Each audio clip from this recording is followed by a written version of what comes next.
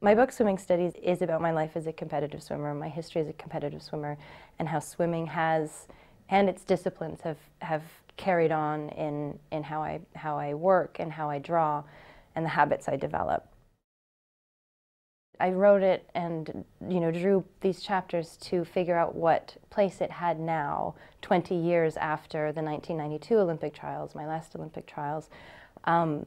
because I you know wasn't going to go into coaching or anything around the pool or athletics, and so it always sat in this strange little anteroom in my in my psyche and history, and I and I and I wondered how how it would how I would talk about it, how I what I felt about it. I think um, Susan Sontag said something like,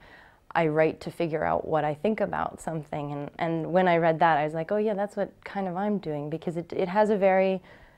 strange structure. It doesn't, you know, it's not, it's not really a memoir. It's, it's not a story of a race or it's not about victory. It's not about, and so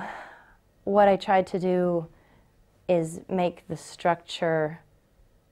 feel like um,